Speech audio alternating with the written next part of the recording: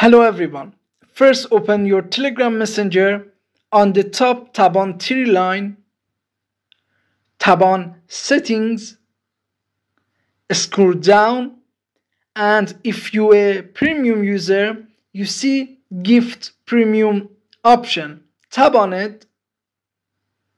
Now choose that contact you want gift telegram premium. For example after that tap on proceed.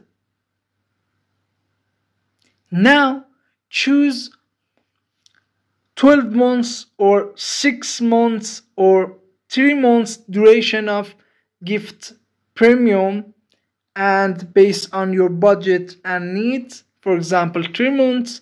After that tap on gift subscription.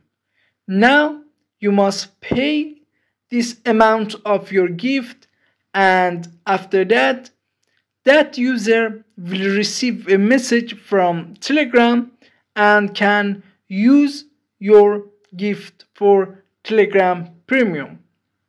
I hope this video was useful for you. Please subscribe to our channel for more videos. Thanks for watching